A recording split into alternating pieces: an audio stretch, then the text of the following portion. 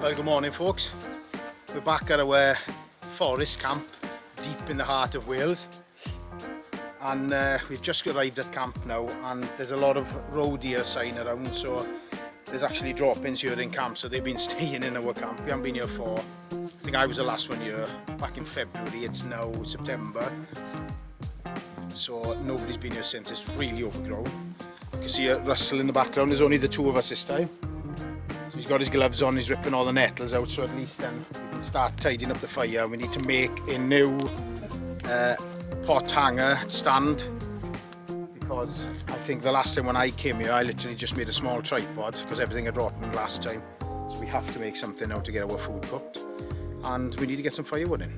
Okay, I've got some uh, wood split now from the um, axe challenge video I've been doing at the moment but Russ and myself need a nice cup of tea.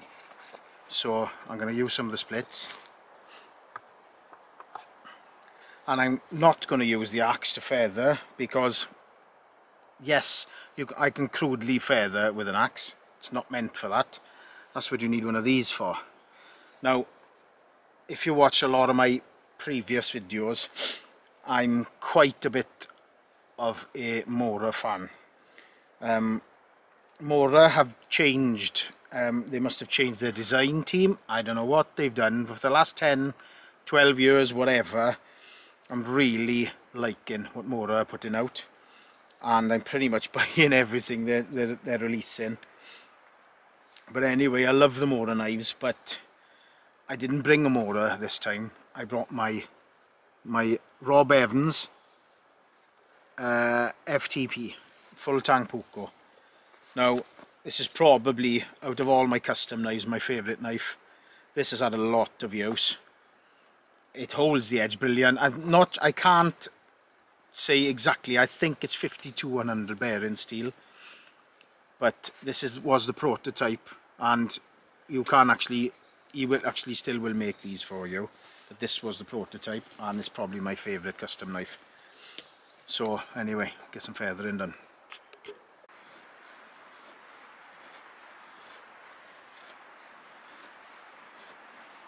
Now I don't want massively long lengths of wood to make these feathers because I'm gearing all these now towards the size of my Bushbox XL stove. Now it's pointless me having massive long feather sticks which I will need later to light the fire which is just there in front of me. I just want to brew fire. Obviously I've got to nip down to the river to get the water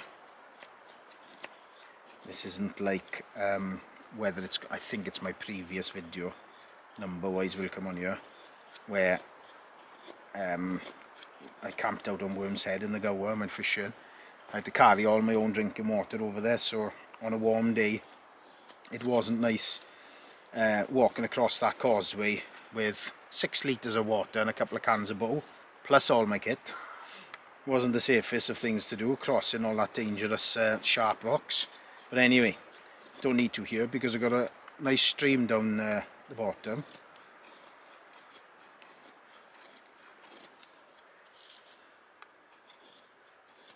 So ideally I want a few of these just to take the spark, get the fire going and then I'm going to split them down really small and I get the water on for a cup of tea. You don't need to watch anymore folks but you know the spruce is lovely to feather. You've got a beautiful knot-free section, you can have amazing curls. I'll do some cool feather sticks later.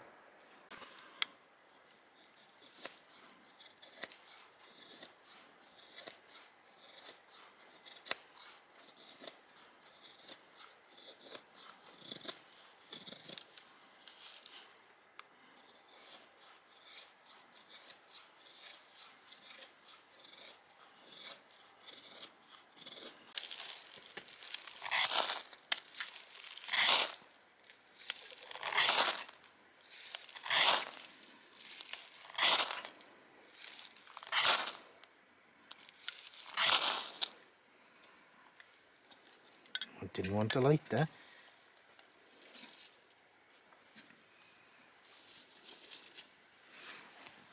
Just lift that up.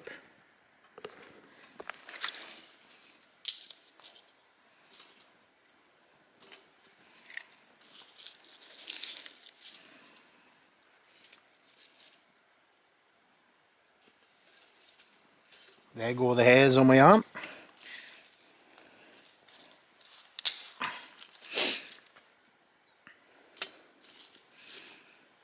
That's the joy of making loads of feather sticks.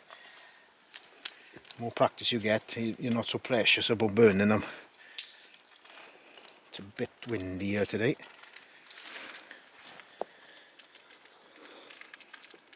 So if I lift you up a bit. We're going to leave this fire established a bit now.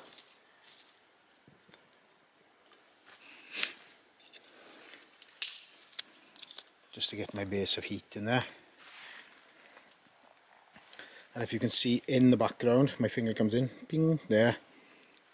Russ has loaded up his Petromax. Bringing it to shot. That's his Petromax um, coffee percolator. There's the badge. Damn good bit of kit. I got one of these as well at home. It's still in the box. I haven't even christened it yet. But really good bit of kit. We've taken this to Sweden, haven't we? Yes. This has been up to Sweden, done obviously all the tea and coffee and everything in. I'm not sure the size, it's, well, what is it, 1.8 litre or something like that? Uh, but obviously we don't need 1.8 litres of water, but once this fire is established now, get the coffee on and that's proper coffee in there.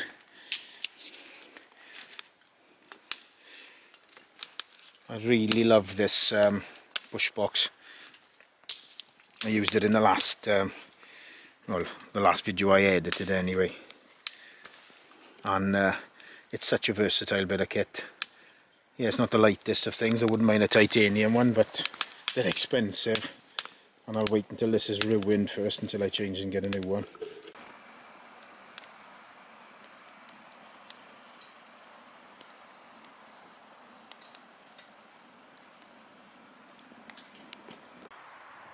Russ has gone to all uh, the effort he split all this wood and everything down.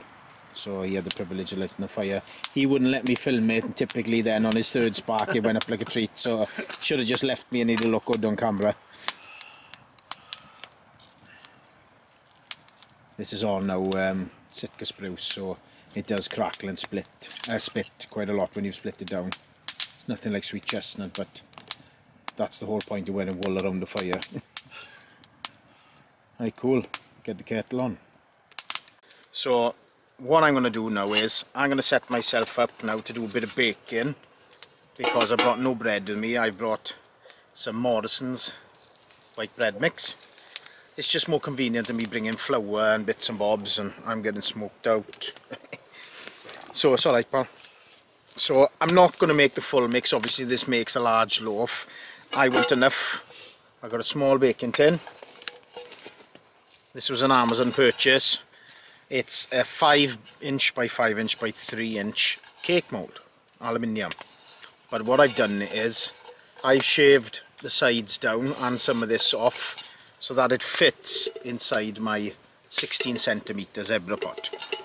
Now I've been watching um, Firebox I can't remember his actual name Firebox USA or Firebox Stoves or whatever um, I've been watching his YouTube channel and what he does I've had this mesh, stainless mesh from China, from eBay, COVID free, I washed it. That then sits in the pot to provide my shelf. And then this with my mix, obviously uh, greased and things, slides inside. That goes on the embers and I got a little wire gadget that I'd seen he'd made that slots in, it's just, and then I can get some embers on the top. And then I made wire hatches there's a chap, there's a few videos on uh, YouTube on how to make them. It's basically how to lock then, to lock the lid on on the handle and then I can turn this into a small oven. Never tried it, might be a complete disaster. I hope not because I've also brought, let me get this out, Betty Crocker's temp, uh, Tempting Chocolate Brownie Mix because if the bread works out alright and I can bake it. Then this we're going to have a nice slab, big thick slab of chocolate brownie later as well. Let's pray. Hold on I can't cross my fingers there so I need to get the bread mixed. Okay sorry folks I'm getting smoked out. The wind blew it in my face. Anyway, like I said, I'm only going to use half of this, so I need to get it opened up. Probably going to end up covered. If you had any big bangs, uh, Russ is covering his shelter with a tarp just to cut the wind. Right, I need to get this. I'm going to get half of this done.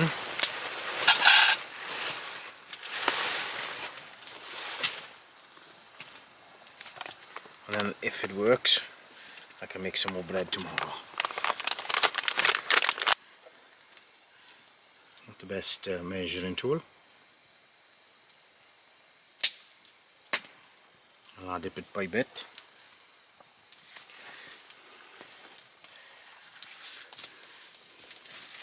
There's my birch spoon spatula thingy I made on the last camp of video. I don't know if it'll be the last one for you viewers. Right, I'm going to get this mixed up. I need a bit more water.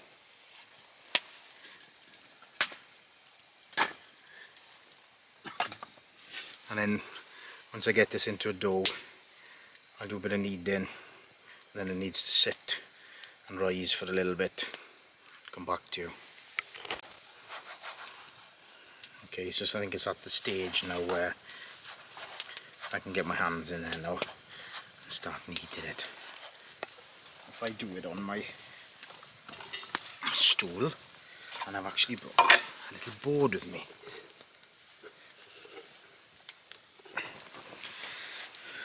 I've had to come off the stool because the fire's too warm.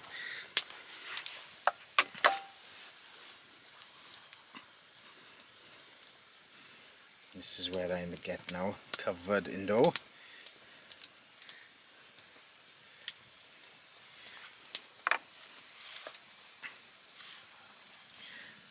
Try and do it left-handed, I'm a right-handed person.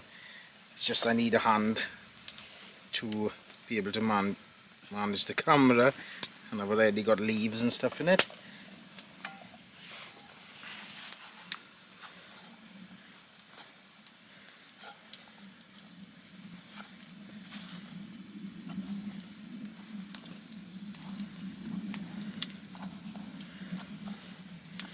Right, I need to work this for a couple of minutes now and I get it out on the board.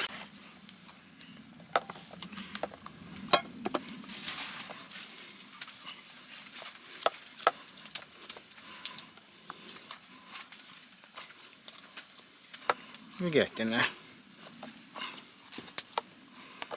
Starting to get stickier now.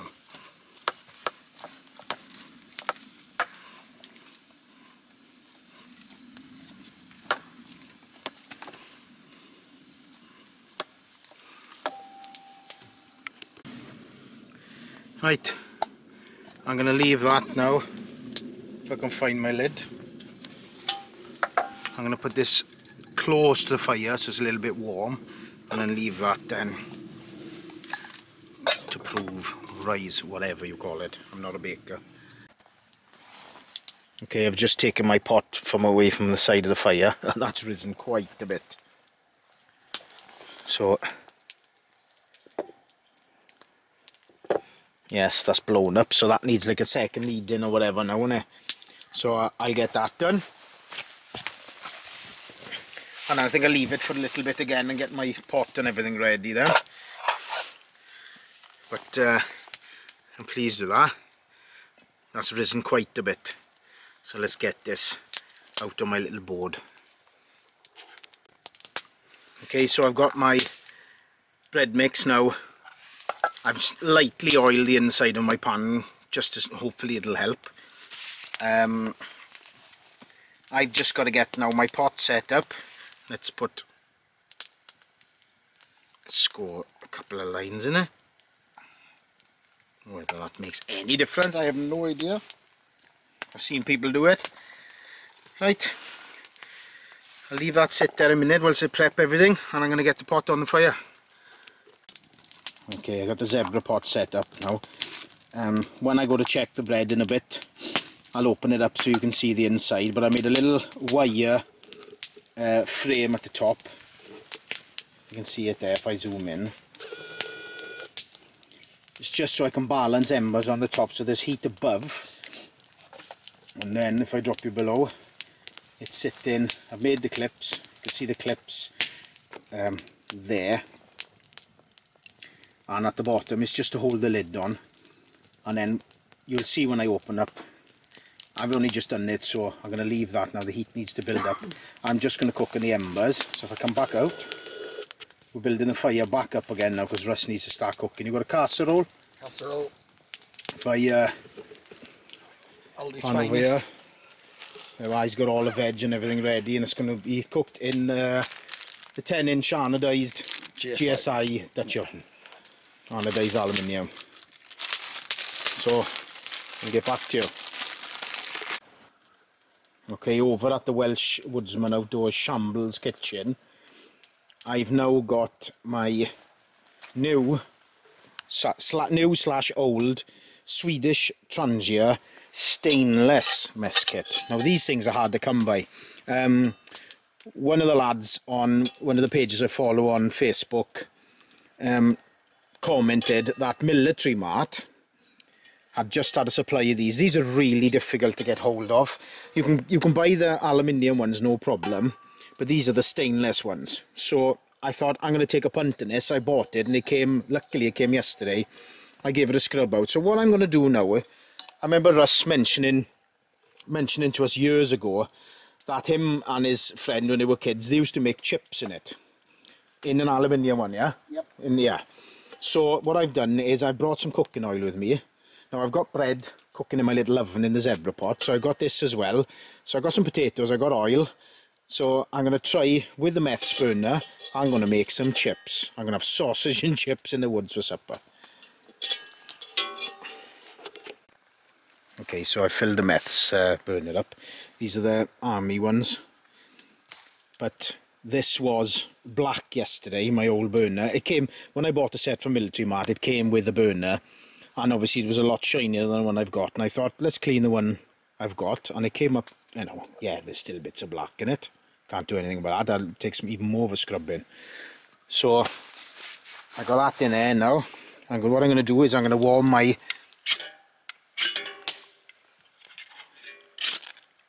There we are, she's burning. That's one good thing about having low light, you can see the flame. Right. Cooking oil. Get the oil warmed up and then I'll fuss and peeling and chipping my potatoes.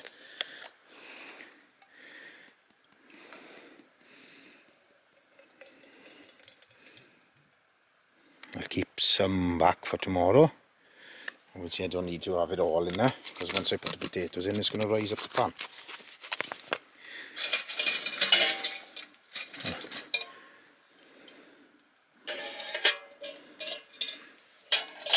Cool.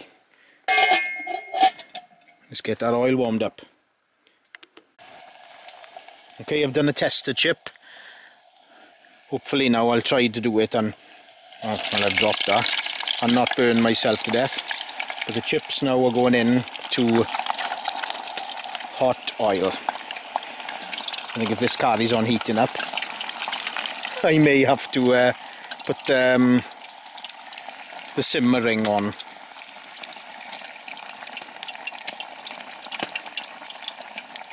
That was one big potato. Put you in. I think once I uh, give it a little shake, it'll be in. Yeah, that's alright, Russ. Leave him cooking there now. Heat's dropping obviously now because of that. If I... Is it safe to cover, do you think? I would. Yeah? Soon if it boils over, folks, because it'll just be all over and then uh, we'll be running for help. My car's down the road anyway. Well, this the stainless steel Swedish Army Trangia set is working a treat with cooking chips. They come in nice and it's not overheating as well. It's absolutely brilliant for it. Well done, Russ. Good idea. He Russ has bought one as well now. okay, I've had to resort to using a bit of artificial light now. chips are cooking lovely. And if I pan you around Russ has got his casserole over the fire on his Dutch oven. And then I zoom you in. Just check my bread now. It's sitting on a bed of embers and then I got embers on the top. It's risen a load but it's still not browning so I'm going to probably leave another 15-20 minutes cooking with embers and then I'll check it again but once these chips are cooked I'm going to fish them out, dump them in the other pan and drop the sausages in quick. Lovely. Okay, I'm going to try not to burn myself on camera. You stop them falling off. Get that clip up. Let's have a look. My bread. That's risen a load, isn't it? Yeah, we need to because my hand's starting to Go on then, it's alright, I'm holding it. Right, so that still needs more heat now. I've sort of kept it stewing there. Let me get some more embers on. Anyway, it's risen lovely. My camera's covered in ash. Get some more embers on. On the other side of the camp kitchen, my chips are almost done. So I've chucked two chili, Lidl's chili bratwurst sausages in with the hot oil. So they're not going to take long.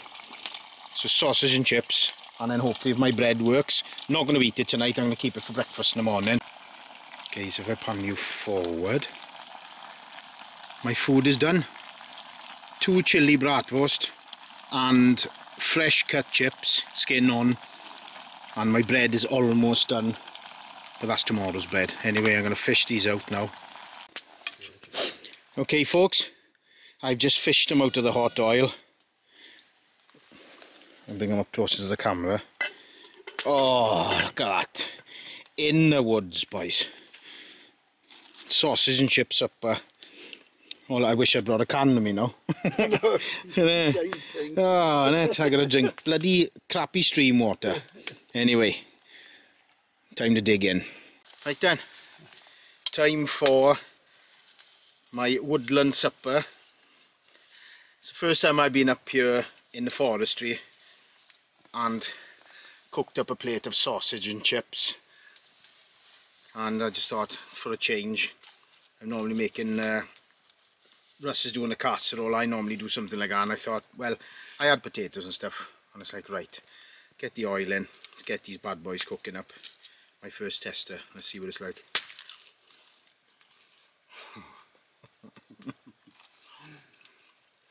oh my god chips cooked in oil not in, obviously you can get them in a chip shop, yeah, but when you're cooking them home, I've been cooking in a bloody ActiFry and things like that. My mother used to cook me chips, I guess, but obviously we were talking about it earlier. Cooking them in lard, proper. I miss mum's chips. But this is like, this is a step up, boys. Mm. Oh my god! I should have a kind of bowl now. Struck cloudy apple bowl. Mm. Anyway, leave me alone. I want to have my food. Okay, time to get the gloves on. Let's have the unveiling. Just to see if this is cooked. It smells alright I'm trying not to uh, burn myself too badly. Just gotta get these bloody clips out of the way. And that one out the way. That's the hot one.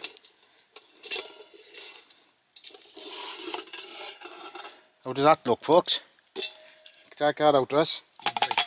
Oh, it seems a bit hard on the bottom. Oh, it's hot on the bottom as well. Right. Very cool, man. I was just going to take it out and Yeah. drop it on the lid. Hopefully get the lid in the shot.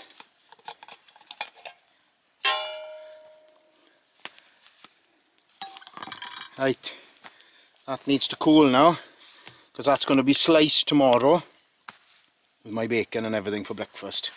Hopefully I can just pan you up a bit, I'll just lift you up.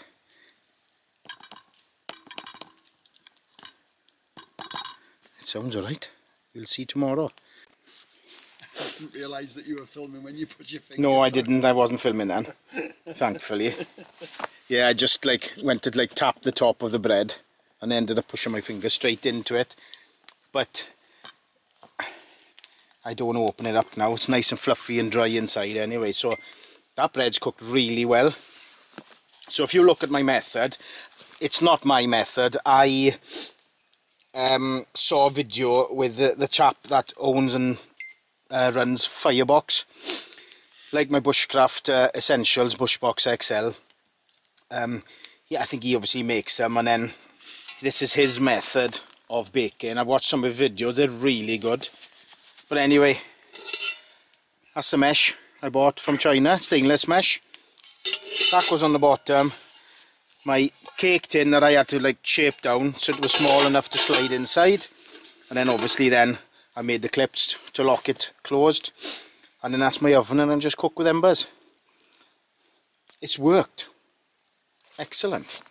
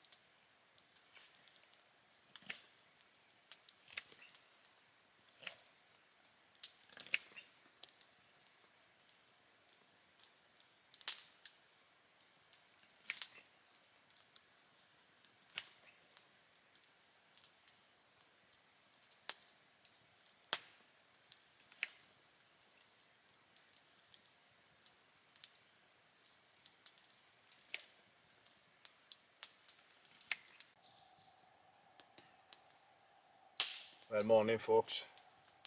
I didn't uh, film the lighting of the fire this morning. We've only been up about 20 minutes, half an hour. We're drinking out Russ's Rocket Fuel. This is a proper way to get anybody up. I think, uh, you know, they'll wake the Walking Dead up as well. But uh, we had no choice. We had an early morning wake-up call from the roe deer. Barking, and it is really, really loud. And they weren't far away as well, so basically it was like, come on, time to get up. Cold night. Slept okay, you were plenty warm in your hammock, is it? Your feet could have been warmer. But uh, I was warm enough, I think it was just um, the heat was coming out, sort of billowing out at the top of the sleeping bag, so I had to wrap up tight.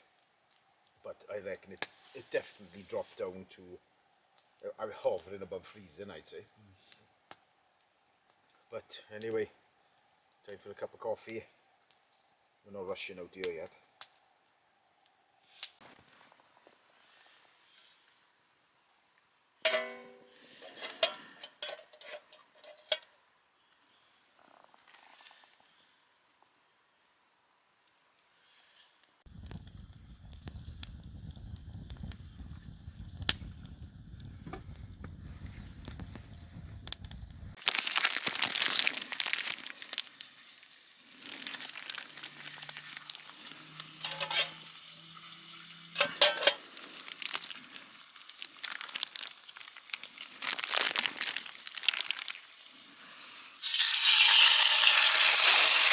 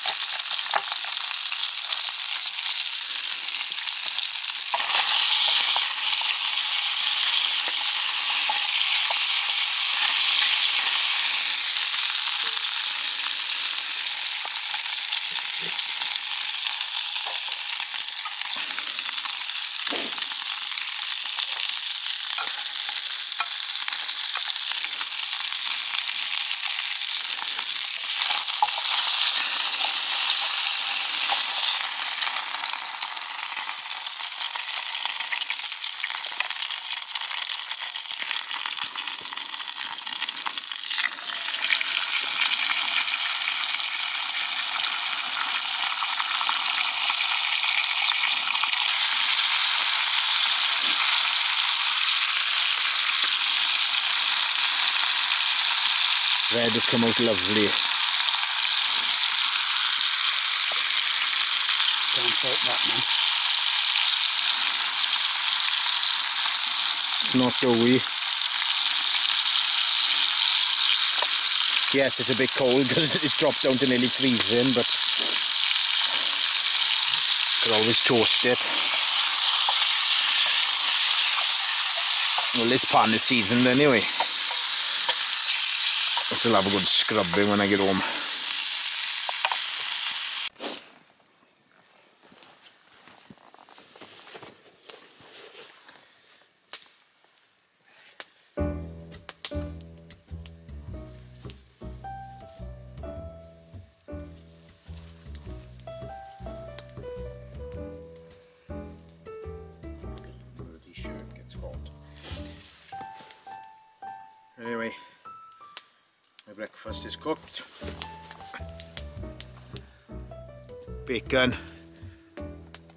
Bread I baked last night, and then Russ has got more coffee on the go in the per the, the Petromax percolator.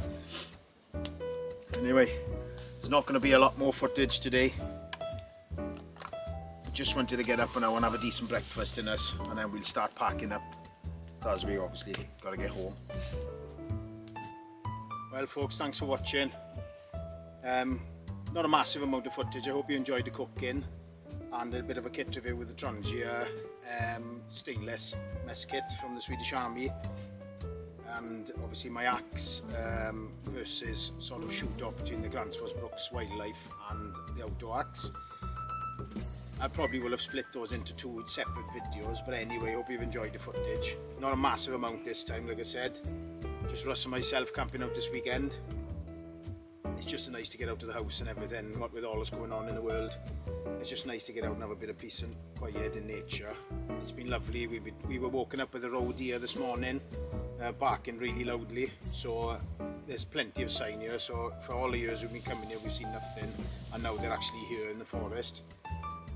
So what else can I say? We're going to leave the fire burn down, clean the last of that bit away now. So the site is nice and clean for the next time we arrive. Anyway, hope you've enjoyed. If you've enjoyed the video, don't forget to give it a thumbs up and a like. If you haven't subscribed already, um, please click on the subscribe and then tap on the, uh, the bell uh, below so you get notifications of any new content that I put out. Other than that, thank you for watching. Um, more videos coming soon. What more can I say? We're packing up, it's time to go. You can go as well. We want peace and quiet. Say thank you, Russ. Thank you, Russ. No, no, I mean not thank you, Russ, but you know, thanks to the people at home.